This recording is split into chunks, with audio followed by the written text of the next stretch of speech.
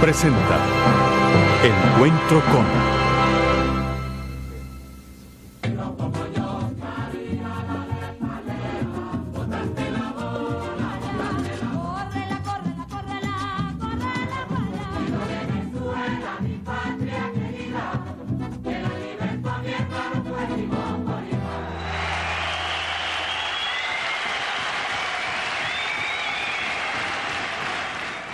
En Venezuela no hay quien no conozca a un solo pueblo, quien no haya escuchado sus cantos, su música. Pero lo que tal vez se pierda de vista es que con esta agrupación se inicia en los años 70 un proceso de difusión de la música tradicional venezolana sin precedentes. De hecho, Un Solo Pueblo es el primero de los grupos de proyección que convierte su actividad en un fenómeno de público masivo. Por grupo de proyección se entiende a aquellas formaciones de músicos dedicadas a la recopilación, reproducción y proyección del sustrato tradicional. Un proceso que va desde el contacto directo con los cultores populares hasta el espectáculo en el escenario o la grabación discográfica. Un solo pueblo ha mantenido el rigor de este proceso a lo largo de toda su existencia y pese a los cambios que ha experimentado en las distintas etapas de su trayectoria artística. Dichas etapas son diferenciadas por los integrantes del grupo para el entendimiento de su propio devenir. Una primera etapa es la de los años de aprendizaje, formación y profesionalización. La segunda se inicia cuando el grupo entra en contacto con el mundo del espectáculo, el escenario, el disco, la televisión. La tercera etapa es la de la maduración de su propia personalidad artística. En todas ellas, los hermanos Querales, Florentino, Jesús e Ismael, se han mantenido como líderes y núcleo de la agrupación. La guasa hacia el molina como viruta y al son de la guitarra se va enredando en el bailador. Canta y baila como yo, y santunquea como tú, siempre enredándose adentro. Canta y baila como yo, y santunquea como tú, siempre enredándose. La influencia que tiene un solo pueblo se la debemos a Teo Capriles, mi padre. Yo recuerdo que desde muy pequeño el viejo, como le decíamos nosotros cariñosamente, se ponía con un cuatrico, como, como él lo llamaba también, a tocar música venezolana, sentado en el sillón de la sala, y yo muy pequeño viéndolo y me interesaba y cómo cantaba, la manera tan, tan sabrosa como cantaba. Todas las tardes el viejo agarraba su cuatrico y se ponía a cantar música venezolana. Con esa gran influencia que nos dejó el viejo, eh, comenzamos y formamos un grupo. Conocimos a Sorena Valdivieso, nuestra gran querida Sorena, en paz descanse. Se, interesó también en, el proyecto que, estamos comenzando. Comenzaron los viajes de investigación. El primer viaje, recuerdo yo muy claramente, cuando conocimos a Francisco Pacheco. Lo hizo Ismael y Sorena. Se fueron al pueblo de Cata, en el estado de Aragua, y conocieron a Pacheco. Ahí se completó la cuestión.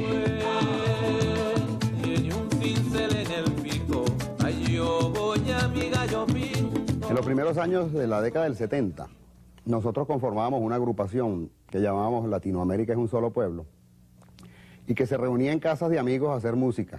Este grupo tenía un repertorio latinoamericano y en él la música venezolana era minoría absoluta. Nosotros empezamos a sentir una preocupación puesto que el repertorio de música latinoamericana era muy variado. Empezamos a viajar y nos dimos cuenta de la riqueza musical de este país y decidimos entonces dedicarnos de lleno solamente a la música venezolana, dejando el repertorio de música latinoamericana. Se presentó el problema del nombre del grupo.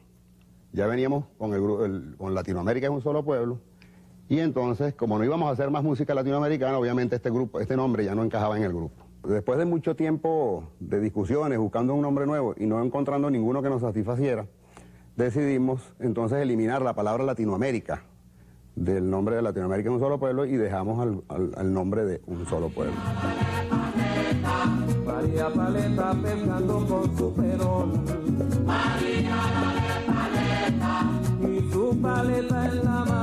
Mi primer contacto con un solo pueblo lo hice a través de Ismael Querales, Sorena Valdivieso, Toñito Valdivieso, hermano de Sorena, y esa gran gloria del deporte venezolano, Don Teo Capriles. Les canté parranda, cantamos unos cuantos golpes y eso, quedaron encantados con lo que yo les mostré y además ellos a mí me mostraron parte, varias canciones que, yo, que ellos ya dominaban como música venezolana. Este, bueno, de allí para mí ha sido un orgullo pertenecer a esta agrupación, que es un solo pueblo, ya son 20 años este, en este trabajo. Y recuerdo que una de las canciones que, bastante tiempo, que, tiene mucho tiempo dentro de un solo pueblo, es una canción que le cantaba mi abuela mi mamá. Mi mamá fue Paula Elvira Crocker, mi abuela Santiago Fiol que se llama La Matica, que vamos a aprovechar la oportunidad para escucharla en este momento. Nosotros vivimos bajo la matica y nosotros vivimos bajo la matica, verano con ella y ella verdecita, verano con ella y ella verdecita.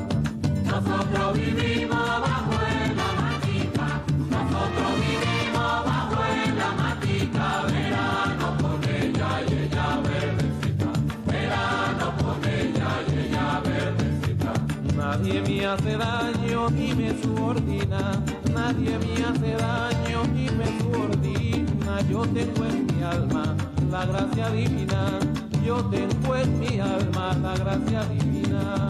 Nosotros vivimos bajo la matica, nosotros vivimos bajo la matica, verano con ella y ella verdecita, verano con ella y ella verdecita. Nadie a mí me oprime con su autoridad, nadie a mí me oprime con su autoridad, porque cargo el fuego de la libertad, porque cargo el fuego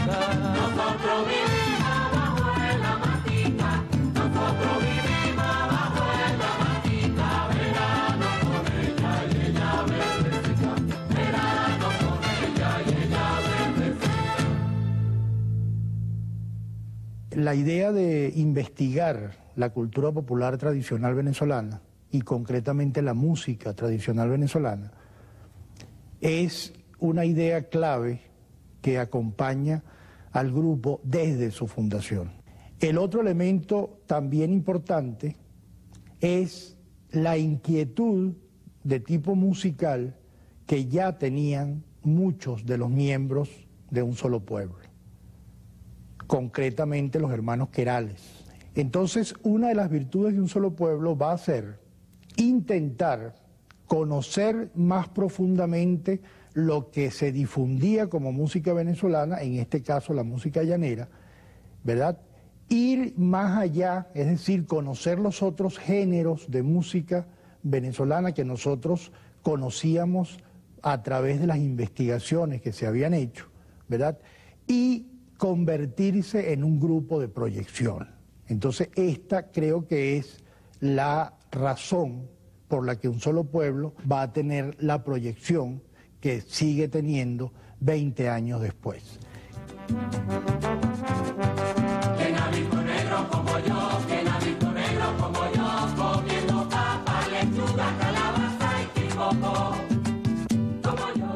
Tenido interés verdaderamente por desligar pues, la canción popular porque es el primer gran alimento de la cultura escolar. A mí me parece que la raíz del folclore eh, eh, es lo fundamental en la enseñanza de, de las culturas de los pueblos y la construcción de, de, de, de negro como yo traté de, de jerarquizar valores. Yo diría que hasta un tratado pequeño, popular, de, de, de axiología, eh, una canción socioantropológica, porque la libertad, cuando digamos en, eh, en, eh, en Paují de Piedra, sobre la rama altanera se pasea con donaire, y soy libre como el aire que no conoce fronteras. Estamos viendo Encuentro con.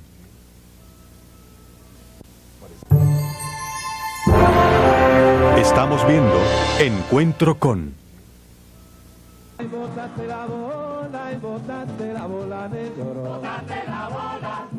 Tras los años iniciales en los que la agrupación definió su línea artística y completó su etapa formativa para enrumbarse definitivamente hacia el estudio y la interpretación del repertorio tradicional, comenzó un proceso de popularización que sería indetenible.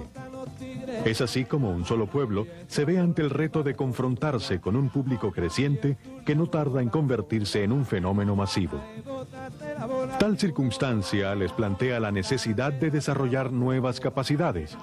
Y es así como a la calidad interpretativa que ya los caracterizaba y distinguía como grupo de música venezolana, habrán de sumar el conocimiento y las técnicas del escenario, tanto para las presentaciones en vivo como para las actuaciones en los medios audiovisuales.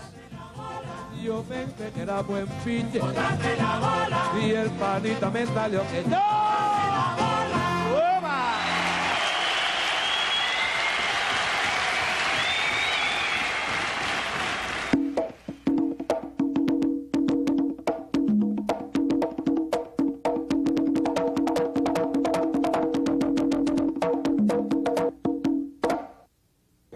Respecto a la incorporación de instrumentos extraños, entre comillas, a la música venezolana, eh, un solo pueblo desde hace varios años ha incorporado estos instrumentos porque pensamos que, como todo proceso que se da y se ha dado en la historia de la humanidad, eh, ninguna cultura es estática y cualquier joven de cualquier ciudad como Caracas eh, incorpora los instrumentos que tiene a la mano o los instrumentos que, que podrían utilizarse en cualquier música. Lo que importa sería quizás cómo tú interpretes esa música.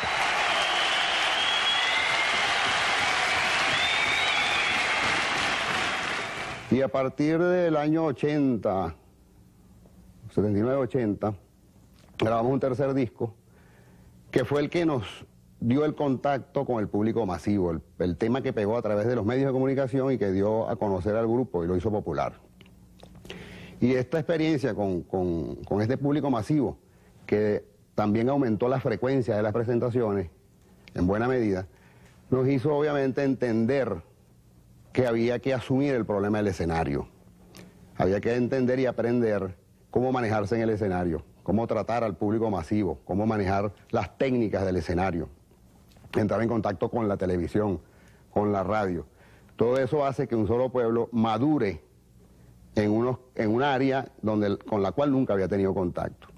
De manera que es una, esto, esto viene como enmarcándose dentro de una primera etapa que termina con el tema que nos hizo popular a través de los medios de comunicación, que es el Cucuy que alumbra, una parranda que recogimos en el pueblo de Cuyagua. En la generalidad, todas las canciones de un solo pueblo han sido exitosas. Pero yo considero como afortunada el cocuy que alumbra. Es una realidad tangible, un cocuy, una luz que, eh, eh, que, que desciende, que anda. Yo quise hacerla con un poco de luz interior, eh, hacerla intangible en los versos cuando eh, decíamos, yo tengo un cocuyo que nadie lo ve. Que nadie que lo ve. nadie lo ve, que alumbra mi mente y enciende mi fe, que alumbra mi mente y enciende mi fe.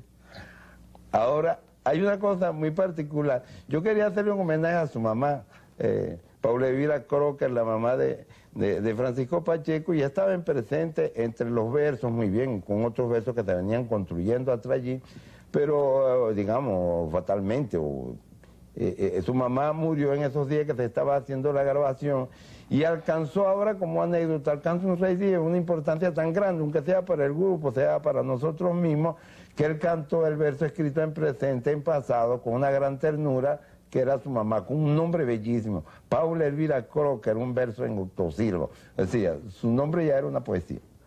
Paula Elvira Crocker fue luz y canción. Paula Elvira Crocker fue luz y canción. Fue luz y canción, llevaba el cocuyo en el corazón. Llevaba el cocuyo en el corazón.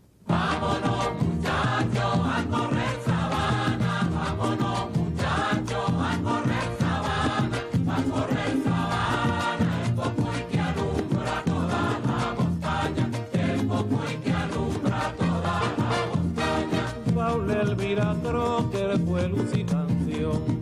Paula Elvira Crocker fue luz y canción. Fue luz y canción. Llevaba el cocuyillo en el corazón. Llevaba el cocuyillo en el corazón. Vámonos.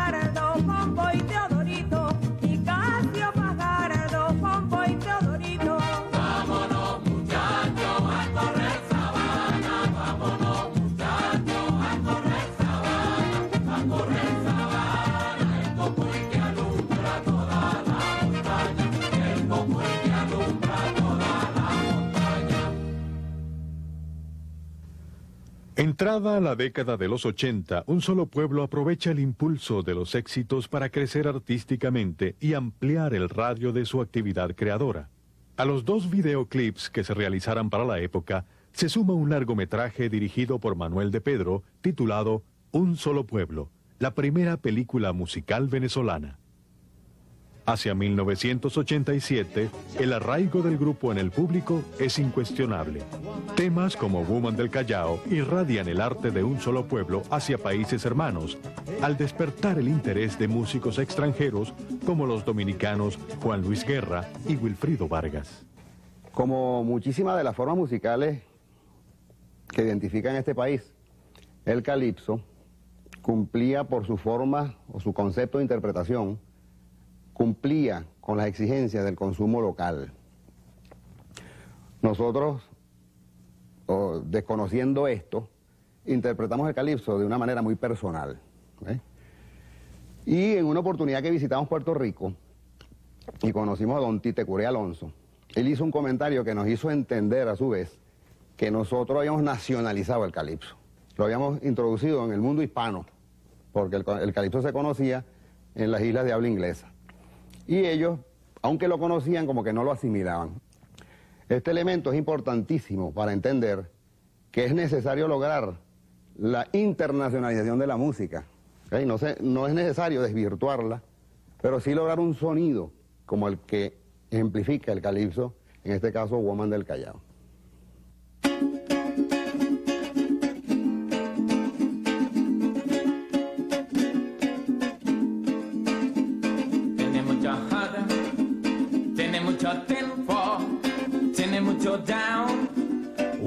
Del Callao.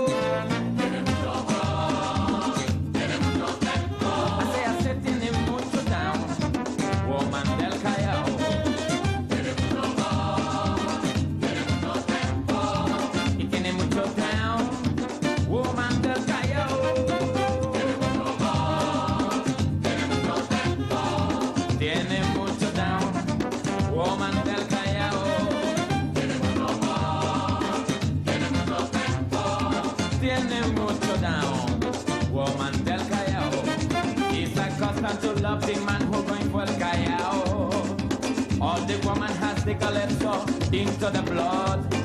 Y when you got the life to live in dancing in. Ra pa pa.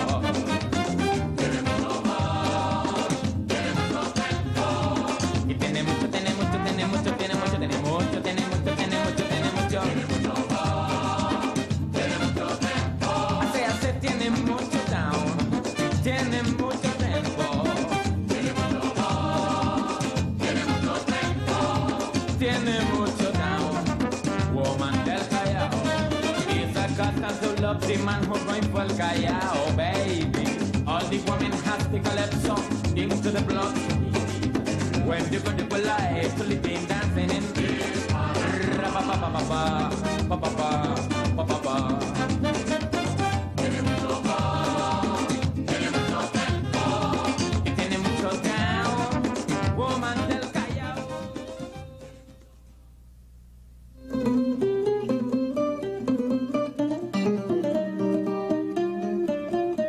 Comienza la década final del siglo y el éxito de un solo pueblo no puede estar más afianzado. A la eclosión del fenómeno de público seguía ese proceso que el periodismo ha dado en llamar internacionalización. Ante la sucesión de tales acontecimientos, los integrantes del grupo sintieron entonces que, después de 15 años de actividad intensa, había llegado el momento de la reflexión, de la maduración. Un solo pueblo durante estos 20 años eh, siempre ha mantenido su filosofía de interpretar la música venezolana, de darla a conocer y de tratar de estimular a otra gente a que lo haga. Solo Pueblo se ha mantenido fiel a ese concepto de proyectar y de dar a conocer y de hacer participar sobre todo a la gente joven, cosechando su, su tradición, conservándola y, y, enriqueciéndola, por supuesto, y, y tratando de, de crear eh, y recrear esta música venezolana.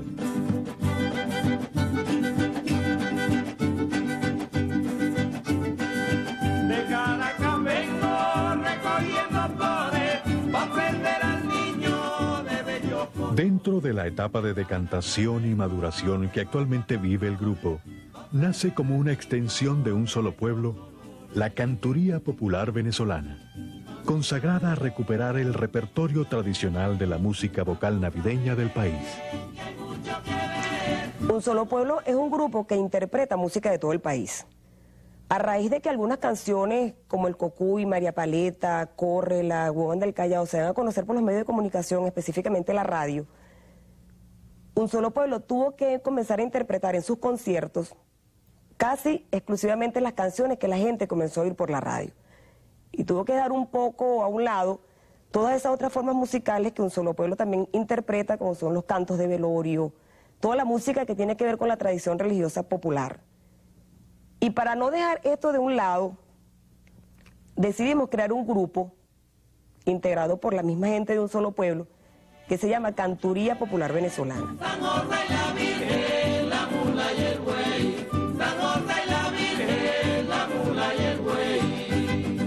La Canturía Popular Venezolana, grupo nacido en el seno de un solo pueblo, es muestra tangible de la fidelidad de estos músicos a los principios que hace dos décadas los inspiraron a rescatar el riquísimo legado musical de la tradición venezolana.